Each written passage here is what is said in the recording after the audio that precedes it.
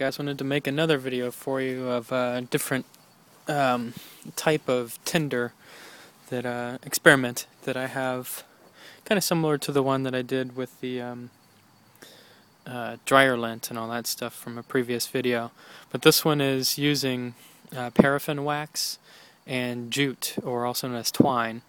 And you just basically purchase a big roll of twine and melt down the paraffin wax. Paraffin wax I buy, I just get it off of Amazon. It's a bath, um, bath paraffin wax.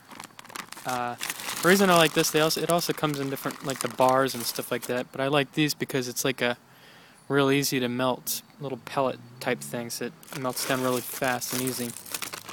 Um, one of the things I suggest whenever melting paraffin wax is that you actually do like a uh, some sort of a container inside of another one. Uh, to where, let's say, for instance, you have a saucepan or whatever, you put water in it, bring up the water to a boil, and then you take a, a like a tin can or Coke can or something, just cut the top off the Coke can. That way, you're not getting wax all inside of your nice um, cookware or anything like that. You're just boiling water and then something else inside of it that's heating up the the wax. Um, but what you do um, after you've melted down the wax is you just take off. What I do is I grab um, strings of the jute and cut cut them into um, like one foot or two foot sections so that you have some sort of a manageable length. And as you can see, you just dip it in there. St- stuff's kind of thick, or, or not thick, but stiff. And it's just because it's been soaked in the paraffin wax. Um, what you do, you just leave it in there for a couple seconds, allow it to kind of penetrate into the fibers itself, and then you can stick it in the refrigerator if you want.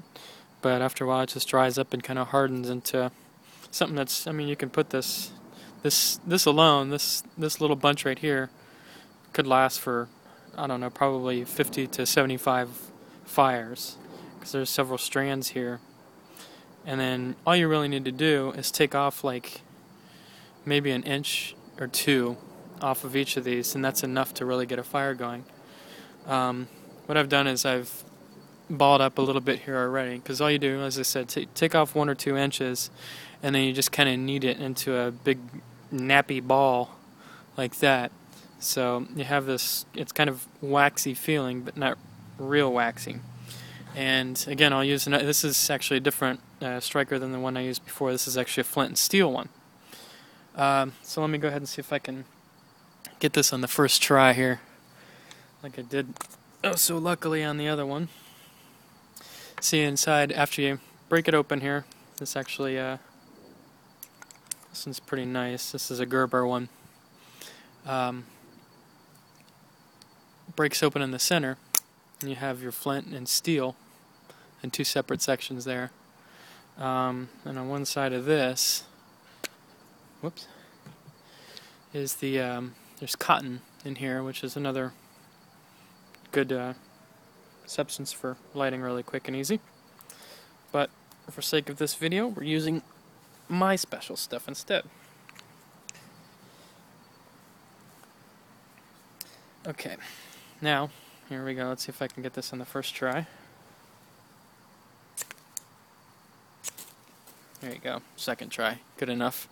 But as you can see, that stuff burns easily and quickly, right away, you know. It just took one spark onto it. The first try was just a fail of the actual lighter, or the flint and steel itself. But one of the downfalls to this one is it doesn't burn for very long, but it is a pretty intense burn when it is lit.